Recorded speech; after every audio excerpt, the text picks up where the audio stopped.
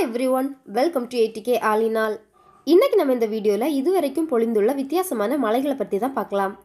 முதலாவதாக மீன் மற்றும் தவளைகள் மலை. இரண்டாயிரத்தி ஐந்தாம் வருடம் செர்பியாவின் ஒட்ஜாக்கி நகருக்கு அருகில் இருக்கும் சிறிய நகரத்தில் அந்த விசித்திர மழை பெய்துள்ளது.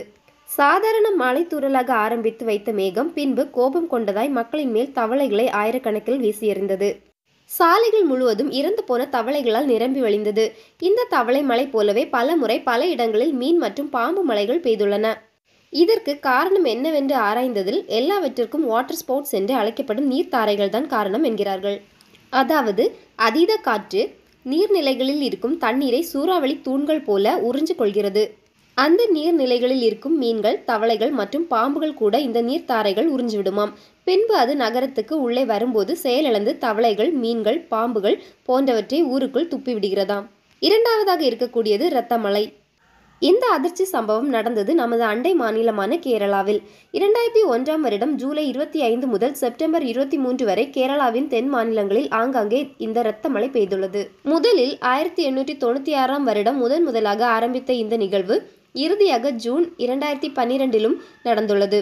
அதிகபட்சமாக கோட்டயம் மாவட்டத்தில் இது அதிக நேரம் பெய்துள்ளது. ஆச்சரியமாக இது போகும்போது துணிகளில் ஆங்காங்கே பிங்க் நிற கரைகளை விட்டு செல்கிறதாம்.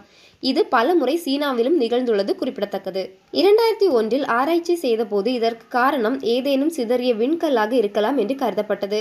பின்பு கேரளாவின் கடற்பகுதியில் காணப்படும் ஒரு வகை சிவப்பு பாசிகள் என்று பின்னர் உறுதி செய்யப்பட்டது. இது அதீத காற்றால் கருமேகங்களுக்குள் சென்று தங்கிவிடுகிறது. பின்னர் அது மழையாக பெய்யும் போது தண்ணீருடன் நடக்கும் வேதியியல் மாற்றத்தால் இரத்த வண்ணத்தில் பெய்கிறது. மூன்றாவதாக பூச்சி மலை.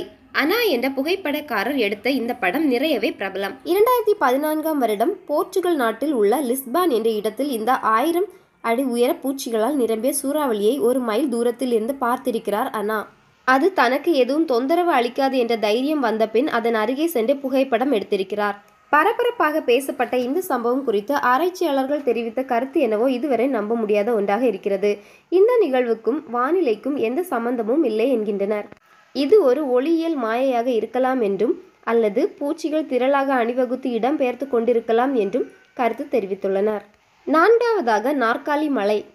இரண்டாயிரத்தி பதினொன்றாம் ஆண்டு மிசோரியில் இருக்கும் ஜோப்ளின் என்ற இடத்தை மிக பெரிய அளவில் புயல் ஒன்று தாக்கியது. கிட்டத்தட்ட ஒரு மைல் நீளத்துக்கு சூறாவளி உருவாகியது. சக்தி வாய்ந்த இந்த புயல் பல பொருட்களை உறிஞ்சு கொண்டு கடத்தியது.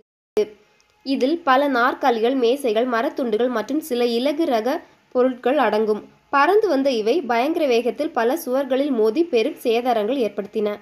அடுத்ததாக இருப்பது ஆலங்கட்டி மலை.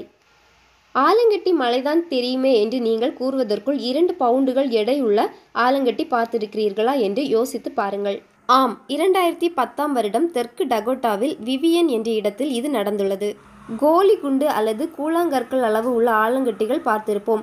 இப்படி கிலோ கணக்கில் அன்று பெய்தது மிகவும் ஆச்சரியமான ஒரு நிகழ்வாகத்தான் கருதப்படுகிறது. தேங்க்யூ.